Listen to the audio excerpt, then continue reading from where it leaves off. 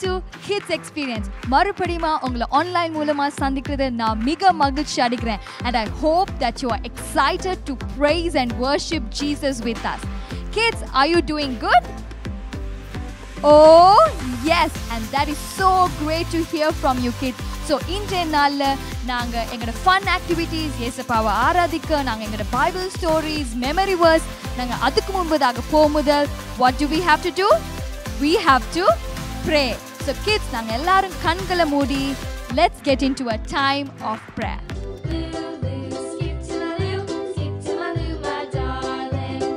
நாங்கள் யாவரும் சேர்ந்து நாங்கள் ஜெபம் பண்ணுவோம். நல்ல தகப்பனே இந்த அருமையான நாளுக்காய் நன்றி செலுத்துகிறேன் ஐயா.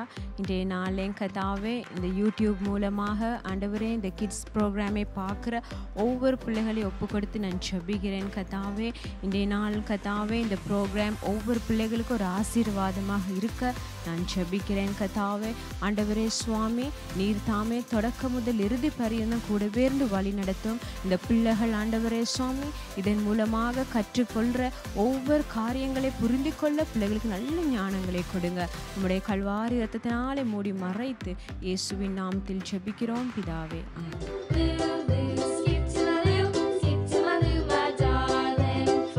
ஓகே குட்டீஸ் நாங்க இப்ப இயேசுப்பாட வார்த்தையை எங்க மேல நாங்க அறிக்கை செய்ய போறோம். We are going to declare God's word over our lives. So குட்டீஸ் நீங்க இருக்கிற இடத்துல இருந்து உற்சாகமா எழுமி நின்று என்னோட சேர்ந்து நீங்க சத்தமா சொல்ல போறீங்க. Are you ready for it? okay God is good I am loved Jesus has forgiven me everything is possible okay குட்டீஸ் நாங்க இயேசுப்பட வார்த்தை எங்க மேல நாங்க அறிக்கை செஞ்சிருக்கோம் we have declared god's word over our lives and now it's time to praise and worship jesus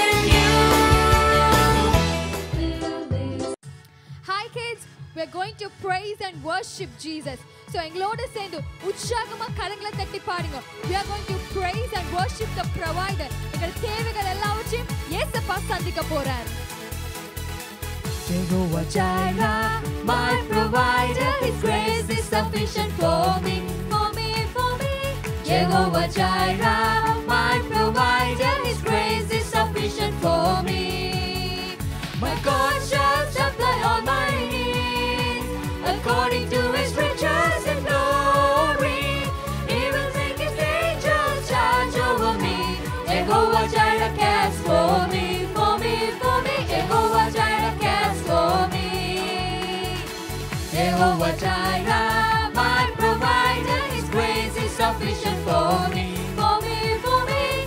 Jehovah Jireh, my provider, sufficient for me. My God shall supply all my needs according to His riches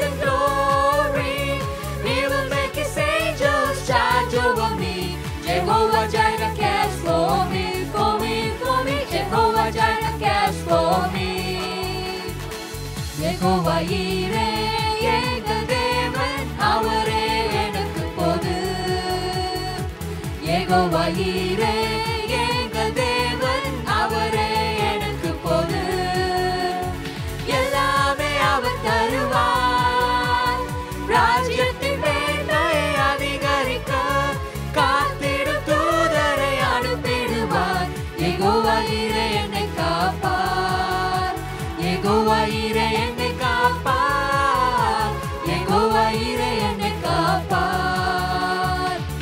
guaire Uceagă măcar pe tine cuvință În lurie se fac pagă E guaire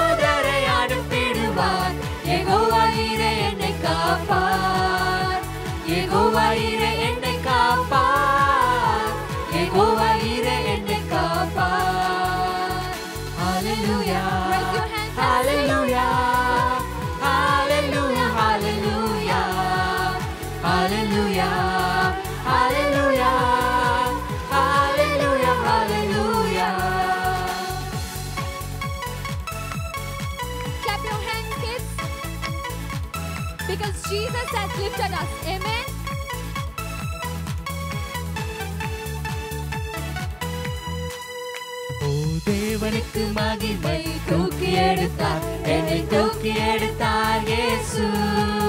தம் கரத்தை நீ ரட்சித்தாரே ஓ தேவனுக்கு மகிமை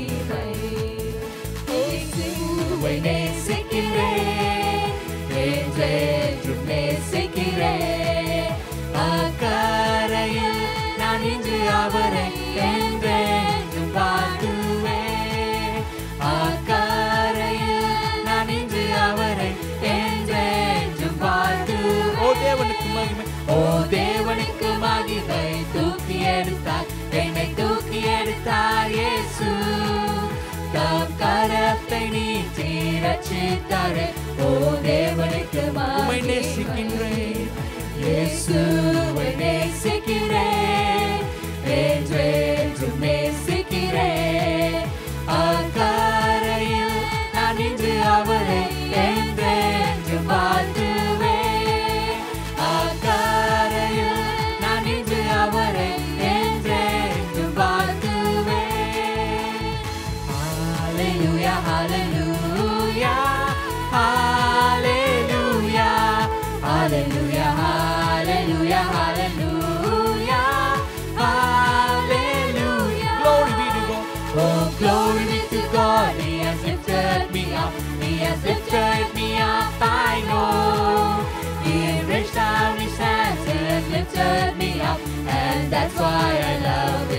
I love him more. I love him more and more. I love him more and more. And when I stand upon the other shore, I'll praise him more and more. And when I stand upon the other shore, I'll praise him more and more. Oh, glory to God, he has lifted me up, he has lifted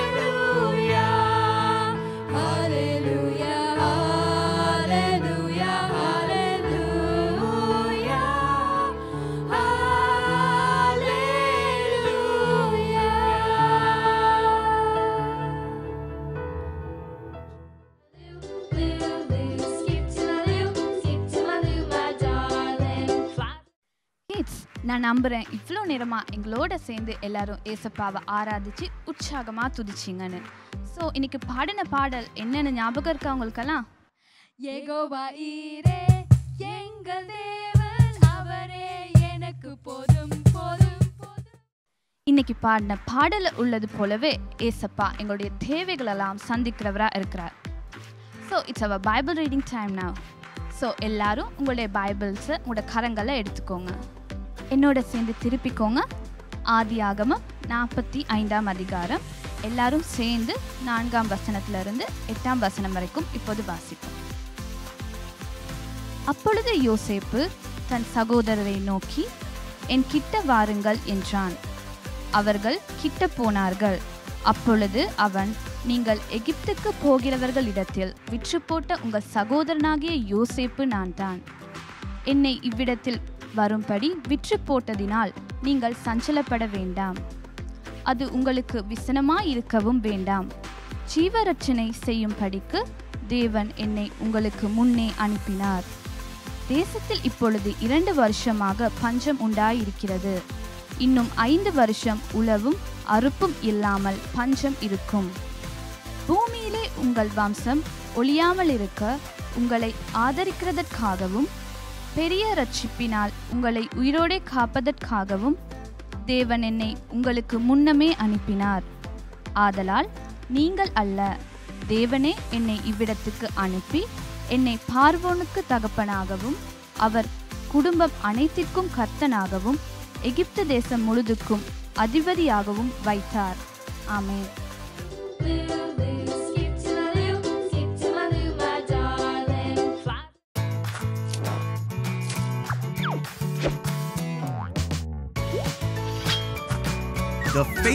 Hall of Fame.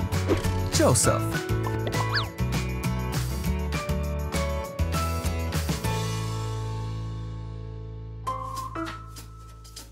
This is Joseph, Hey! who was the son of Israel and Rachel, Ah, but he had 11 brothers who hated him and sold him into slavery. After being put in jail, Joseph told of the future of Egypt when he interpreted Pharaoh's dreams, and Joseph found favor with the Pharaoh. The Pharaoh made Joseph a leader in his kingdom.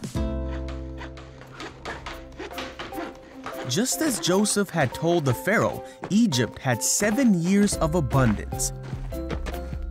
Then the seven years of abundance came to an end, and the seven years of famine began just as Joseph had said. But the Egyptians had food to eat because Joseph had planned for the famine.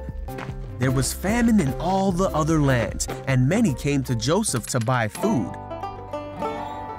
There was even a famine in the land that Joseph came from. So when Israel heard that there was grain in Egypt,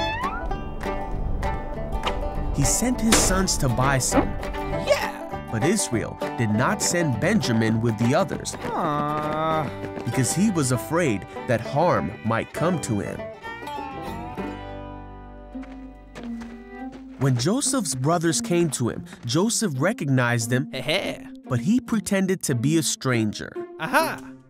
So Joseph decided to test his brothers. He had his interpreter tell them to send for Benjamin, who had stayed home. Him. And then he threw his brothers in jail for three days. On the third day, Joseph let all but one of the brothers take grain to their starving households with the instruction to bring Benjamin back. But Joseph provided for his brothers' journey and gave them grain and silver. The brothers did exactly as Joseph instructed, as they were scared that God was punishing them for what they had done to Joseph so many years before. They traveled home to their father's house, then back to Egypt. Now that he had seen that they brought Benjamin, Joseph was overwhelmed, so he released the brother who was still in prison. But Joseph decided to play one more trick on his brothers. He sent the brothers away but told his servant to hide his silver cup in Benjamin's bag. Then Joseph told the servant to go after the brothers and retrieve the cup. The brothers hadn't traveled far before the servant stopped them and accused them of stealing the cup.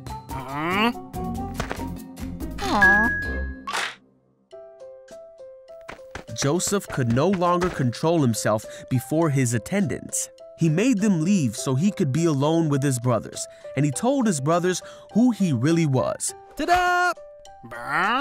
He told them of his life and all he had experienced, and he forgave them for what they had done. God was with Joseph and took care of him and showed him favor.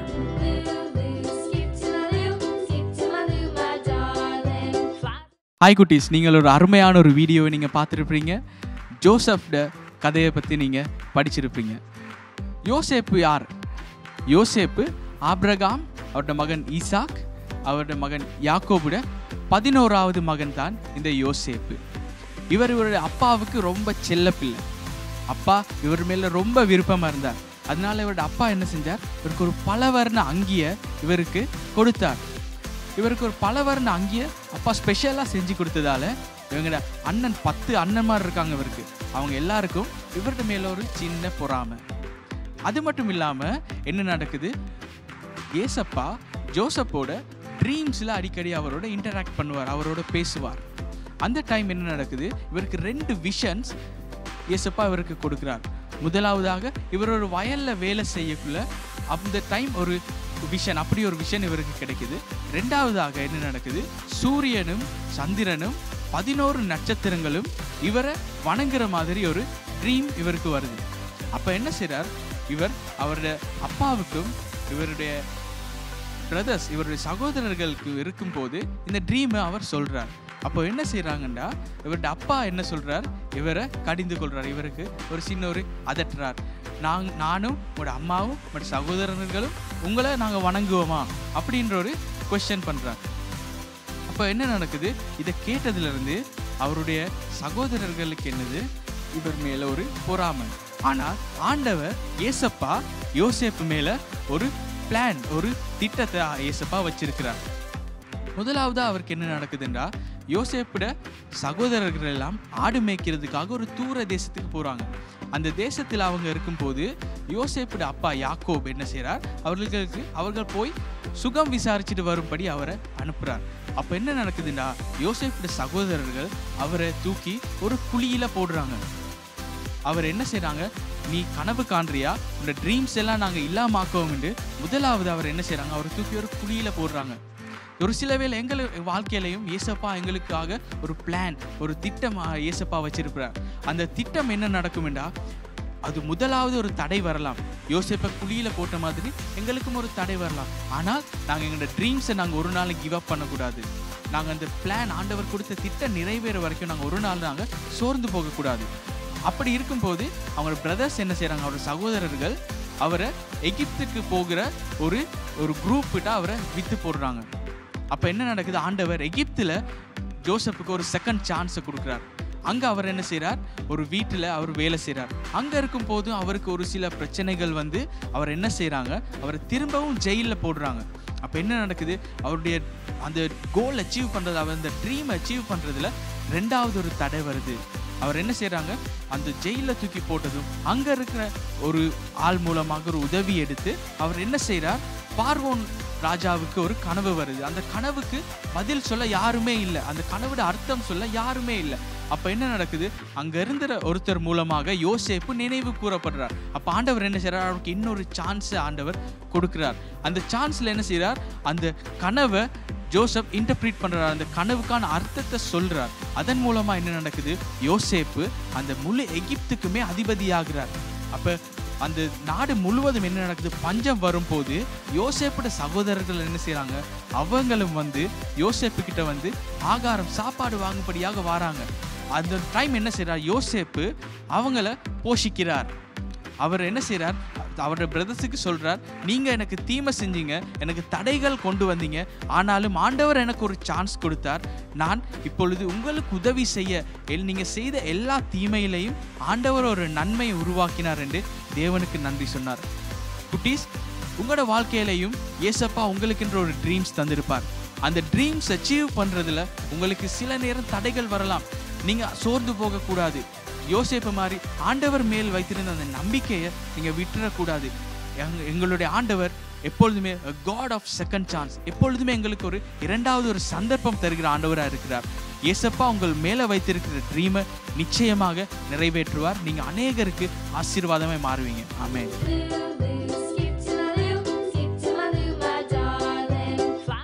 Now it's our memory verse time. Kids, இன்னைக்கான எங்களுடைய மனன வசனம் என்னன்னா சங்கீதம் நூற்றி இருபத்தி நான்காம் அதிகாரம் எட்டாம் வசனம். நான் முதலாவது இந்த வசனத்தை சொல்றேன். அதுக்கு பிறகு என் கூட சேர்ந்து நீங்களும் சொல்லலாம். நம்முடைய சகாயம் வானத்தையும் பூமியையும் உண்டாக்கின கர்த்தருடைய நாமத்தில் உள்ளது. குட்டீஸ் என் கூட சேர்ந்து நீங்க இப்ப ரிப்பீட் பண்றீங்களா? நம்முடைய சகாயம் வானத்தையும் பூமியையும் உண்டாக்கின கர்த்தருடைய நாமத்தில் உள்ளது. சங்கீதம் நூற்றி இருபத்தி நான்கு எட்டாம் வசனம். ஓகே குட்டீஸ் இப்ப மூன்றாவது திரையா நீங்க எல்லாரும் என் கூட சேர்ந்து சொல்ல போறீங்க. போலாமா? நம்முடைய சகாயம். வானத்தையும் பூமியையும் உண்டாக்கின கர்த்தருடைய நாமத்தில் உள்ளது. சங்கீதம் நூற்றி இருபத்தி நான்காம் அதிகாரம் எட்டாம் வசனம். வேர் கிட்ஸ் இப்பொழுது நாங்கள் அதை இங்கிலீஷில் சொல்ல போகிறோம் என் கூட சேர்ந்து நீங்கள் நல்லா கவனித்து ரெண்டாம் தர என் கூட சேர்ந்து சொல்லலாம். A help comes from the Lord who made heaven and earth. Psalm 124 verse 8. என் கூட சேர்ந்து இப்ப மறுபடியும் சொல்லுவீங்களா Our help comes from the Lord who made heaven and earth. Psalm 124 verse 8. இப்போ எல்லாரும் சேர்ந்து ஒன்றா சொல்ல போறோம் Our help comes from the Lord who made heaven and earth. Psalm 124 verse 8. That was an awesome scripture for today's memory verse. I hope everyone learned today.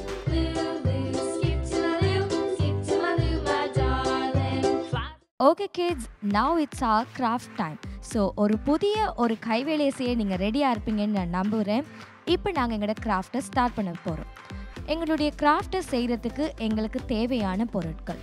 Number one ஒரு white paper ஒரு colour paper and நாங்கள் already கொஞ்சம் துணிகளை எடுத்து different different கலர்ஸில் cut பண்ணி வச்சுருக்குறோம். And we need gum, a marker, and a pair of scissors. Okay kids இப்போ நாங்கள் கிராஃப்டை செய்ய ரெடியாக போகிறோம் ஃபர்ஸ்ட் நாங்கள் அந்த ஒயிட் பேப்பரை எடுத்து அதுக்கு மேலாக நாங்கள் ஆல்ரெடி ரெடி பண்ணி வச்சுருக்கிற கிளாத் பீசஸை எடுத்து பேஸ்ட் பண்ண போகிறோம் டிஃப்ரெண்ட் டிஃப்ரெண்ட் கலர்ஸை எடுத்து நீங்கள் அதில் பேஸ்ட் பண்ணுங்கள் சேம் கலர்ஸ் யூஸ் பண்ணிங்கன்னா அழகாக வராது. ஏன்னா நாங்கள் ஃபினிஷ் பண்ணினே தான் இந்த கிராஃப்ட் என்னத்தை குறித்ததுன்னு நீங்கள் கற்றுக்கொள்ள போகிறீங்க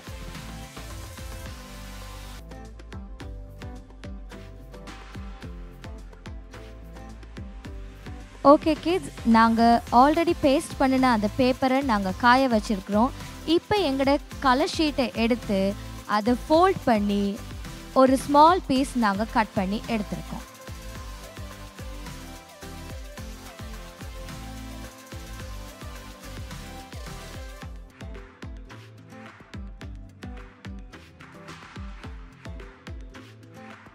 கட் பண்ணி எடுத்த அந்த பீஸில் நாங்கள் எழுத போகிறோம் காட் ஆஃப் சான்சஸ் அதுக்கு கீழாக Genesis chapter fifty verse twenty ஆதியாகமம் ஐம்பது இருபது. ஓகே கிட்ஸ் நாங்கள் ஆல்ரெடி காய வச்சு ரெடி பண்ணி வச்சுருந்த அந்த பேப்பருக்கு மேலாக நாங்கள் காட் ஆஃப் சான்சஸ்ன்னு எழுதி வச்சுருக்க அந்த ஸ்மால் பீஸை கரெக்டாக சென்டரில் ஒட்டிட்டோம்.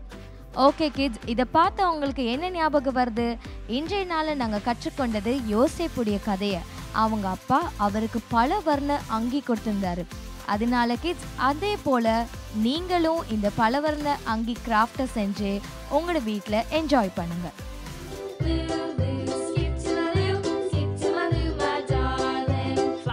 ஹாய் கிட்ஸ் ரொம்ப நாளைக்கு அப்புறம் இந்த வீக் நாங்கள் மறுபடியுமா உங்களை மீட் பண்ணியிருக்கோம்.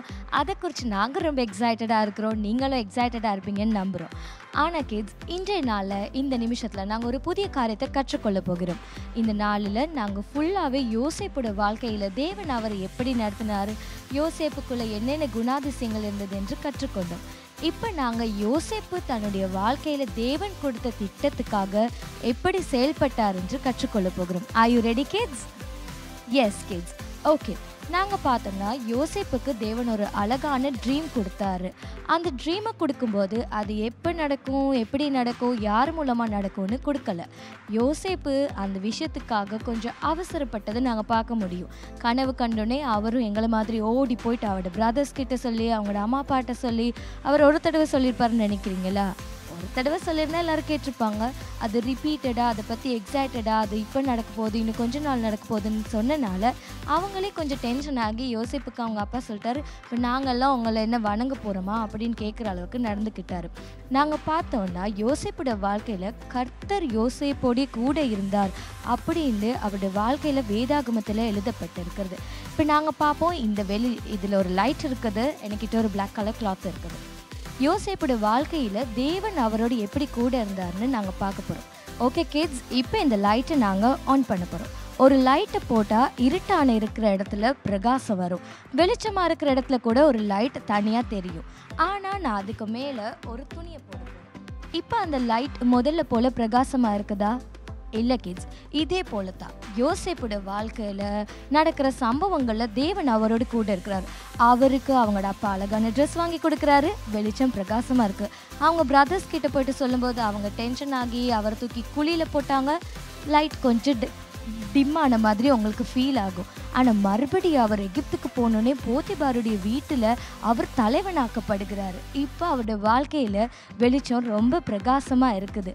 இப்போ அவருடைய ஒய்ஃப் சொன்ன கம்ப்ளைண்ட் மூலமாக ஜெயிலுக்கு போயிட்டாரு. வாழ்க்கை இப்படி ஆயிட்டு மறுபடியும் சோகமாகிட்டு. அவர் அந்த கனவை பார்வோனுக்கு தெரிவிச்சனால அவரை அந்த தேசத்துக்கே அதிபதியாக்கினார்.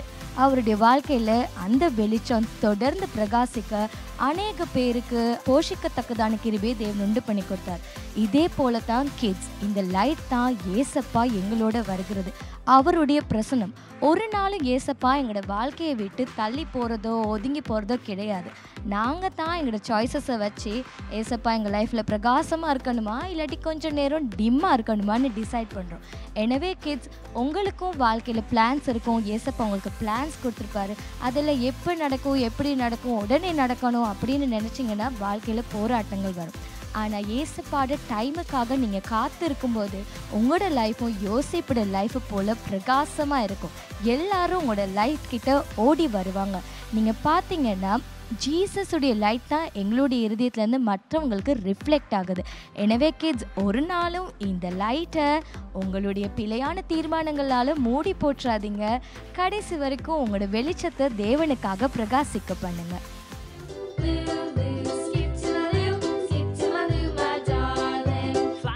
கிட்ஸ் இன்றைய தினத்தில் நாங்கள் எதை பற்றி கற்றுக்கொண்டோம்? ஜோசப். ஜோசப்ட லைஃப்லையும் எங்களுடைய ஜீசஸுடைய லைஃப்லையும் நான் இருவருடைய குவாலிட்டிஸை உங்களுடைய முன்பதாக வைக்க விரும்புகிறேன்.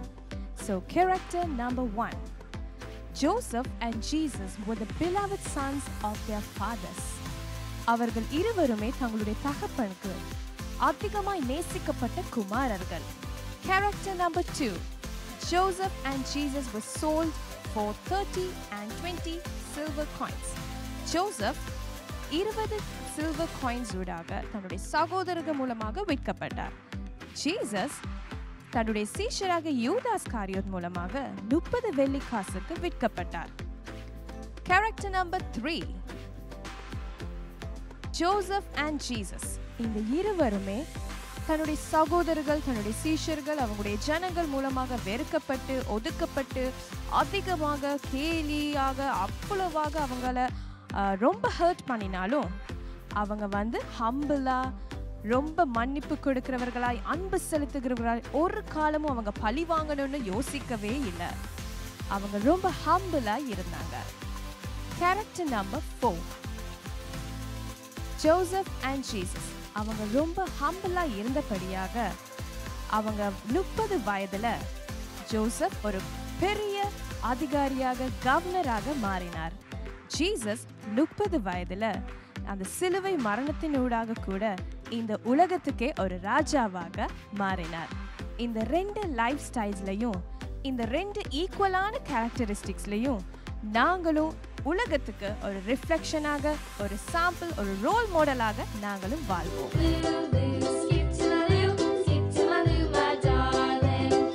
ஓகே குட்டீஸ் இன்றைக்கி நீங்கள் அழகான ஒரு ஸ்டோரியை பார்த்தீங்க. பைபிள்லேருந்து உங்களுக்கு ஒரு கேரக்டர் உங்களுக்கு சொல்லி கொடுத்தாங்க. ஜோசப்ட கதை. உங்களுக்கு அதெல்லாம் தெரியும். உங்களுக்கு தெரியும் அந்த ஜோசப் வந்து அவருடைய வாலிப வயதிலிருந்து அவர் தன்னுடைய தகப்பனுக்கு ஒரு ஃபேவரட் சைல்டாக இருந்தார். அந்த தகப்பன் அவர் சிறிய வயதில் அவர் கண்ட சொப்பனம் அவர் தகப்பனுக்கு சொன்னார் அவரோட சகோதரருக்கு சொன்னாங்க. இதனால் என்ன நடந்துச்சு? சுற்றி இருக்க அவங்களோட சகோதரர் வந்து அவர் மேலே ஒரு ஜெலஸ் கொண்டாங்க. ஆனால் அது அவங்க ஜெலஸ் பண்ணது மட்டுமல்ல அவங்க வந்து ஜோசப்பை வந்து என்ன செஞ்சாங்க? ஒரு குழியில் போட்டிருந்தாங்க. ஆனாலும் இவ்வளவு சம்பவம் ஜோசப்புக்கு நடந்தாலும் ஜோசப் வந்து அவருடைய அவருடைய ஃப்யூச்சர் அவருடைய எதிர்காலம் எப்படி ஆசீர்வாதமாக இருந்துச்சு? அது ஏன்னா ஜோசப்போட கத்தர் ஏசப்பா அவரோடு இருந்தனால தான் ஜோசப்போட எதிர்காலம் அவருக்கு ஒரு ஆசீர்வாதமாக இருந்துச்சு. இன்றைக்கும் குட்டீஸ் இந்த கேரக்டரில் உங்களோட வாழ்க்கையில் இன்றைய இன்றைய நாட்களில் உங்களுக்கு எப்படியான ஒரு சூழ்நிலை நடக்கலாம். என்னென்னு சொன்னால் உங்களோட சுற்றி இருக்க உங்களோட ஃப்ரெண்ட்ஸ் உங்களோட சுற்றி இருக்கிற உங்களோட நண்பர்கள் இன்னுமாய் உங்களோட சுற்றி இருக்கிற உங்களோட கசின்ஸ் ரிலேட்டிவ்ஸ் இப்படியான அவங்க மத்தியில் உங்களுக்கு இப்படியான ஒரு சம்பவம் நடந்திருக்கலாம். என்னென்னு சொன்னால் நீங்கள் நல்லா படிக்கலாம் இல்லாட்டி நீங்கள் படிக்காமல் இருக்கலாம். சில நேரம் உங்களோட பெற்றோர் வந்து என்ன சொல்லுவாங்க? நீங்கள் படிங்க படிங்க நீங்கள் படிக்காமல் இருக்கிறீங்க இப்படி இருக்கக்கூடாது அப்படின்னு. இப்படியான சூழ்நிலையில் உங்களுக்கு ஏசப்பா உங்களோடு இருக்கும் பொழுது உங்களுடைய உங்களுடைய எதிர்காலங்கள் மிகவும் ஆசீர்வாதமாக இருக்கும். அது ஏசப்பா இருந்தால் மாத்திரமே உங்களுக்கு அது ஆசீர்வாதமாக இருக்கும். ஜோசப்புக்கு அப்படித்தான் கத்தர் நல்ல ஒரு ஸ்டான்ஸை கொடுத்து அவருடைய வாழ்க்கையை அவர் ஆசீர்வதித்து உயர்த்தி வந்திருக்கிறார். ஓகே குட்டீஸ் நீங்கள் இந்த சம்பவம் கேட்டிருக்கிறீங்க. இப்பொழுது நாங்கள் யாவரும் என்ன செய்வோம்? கண்களை மூடி நாங்கள் ஜெபம் பண்ணுவோம். நல்ல தகப்பனே இந்த நாளுக்காய் நன்றி செலுத்துகிறேன். அப்பா கத்தாவே இந்த பிள்ளைகள் கத்தாவே இன்றைய நாள் அநேக காரியங்களை கற்றுக்கொண்டிருக்கிறார்கள். தேவரீர் அந்த ஜோசப்புடைய காரியங்கள் கத்தாவே அவருடைய இருதயங்களுக்கு கடந்து போயிருக்கிறது. தேவரீர் ஜோசப்போடு நீங்கள் இருந்தீங்க.